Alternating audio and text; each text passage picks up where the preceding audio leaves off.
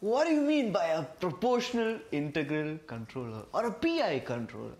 Well, my name is Rishi Remju. Welcome to the Backbench Engineering community, where I make engineering easy for you. So, let us ask yourself that obvious question. What do you actually mean by the term proportional integral controller?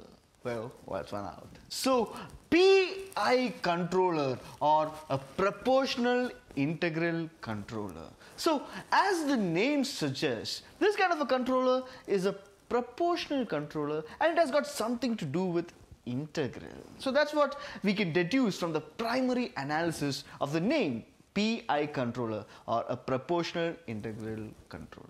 So let's simplify that concept. Let us consider a basic control system which has got a forward loop gain of say G. Let us provide a particular input over here, say R of t and now this input is provided over here and we get an output over here C of t. Let us now provide a unit negative feedback like this. So this is a basic negative, a basic unit negative feedback control system that we have seen with an open loop transfer function, a forward gain transfer function of G. So here what we do is that in order to control this particular control system, we have to use something. That is where we use a controller.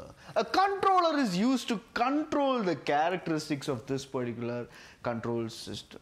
So now let us assume that we need to reduce the steady state error and subsequently by reducing the steady state error if we need to increase the overall gain of this particular control system that is when we use a proportional integral controller. So here, for that, what we do is that over here, we now place a particular controlling element over here. So this is a proportional integral controller. So here, what we observe is that whatever signal is produced over here, this is provided over here, over here like this, and it gets added over here, and then whatever it is present over here, this is what you refer to as the error signal, E of t. And now the output of this particular controller is U of t. So now here, according to a proportional integral controller, what they say is that this particular output signal u of t is proportional to this particular error signal e of t.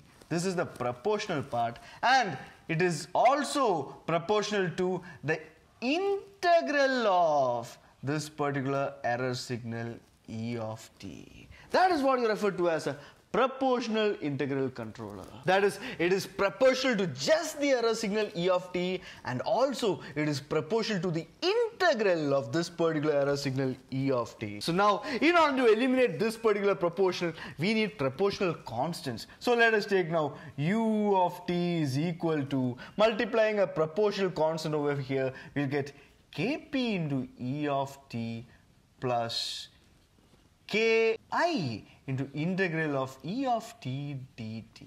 So here now in order to find the transfer function we know that the transfer function is given as the output divided by the input. So for that we have to now take the Laplace transform. So on taking the Laplace transform we would get u of s is equal to kp into e of s which is the Laplace transform of e of t plus ki multiplied by the Laplace transform of an integral of a particular function is given as e of s divided by s. So now upon taking e of s common outside we would get u of s is equal to e of s multiplied by kp plus ki divided by s.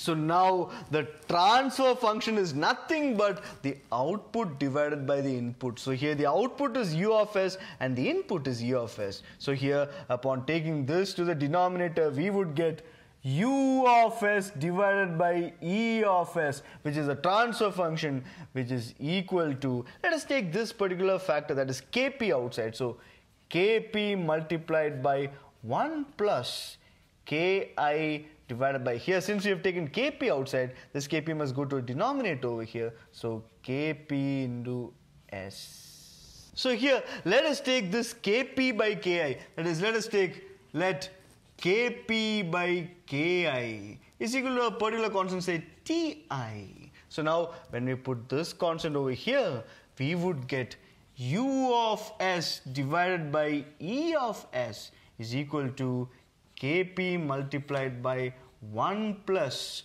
1 divided by ti into s.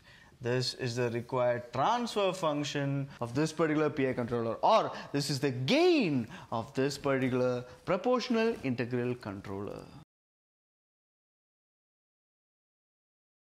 So this, is simply what you refer to as a proportional integral controller and this is how you design required proportional integral controller or a PI controller. As simple as that guys, there's nothing more to it. So I hope you guys now have a clear understanding of what you refer to as a proportional integral controller. And if you guys found this video informative, please do hit the like button and join this community by hitting that subscribe button. We'll be discussing about the further topics in the upcoming videos, so stay tuned, stay subscribed. Until next time, I'll see you guys in the next video. Thank you.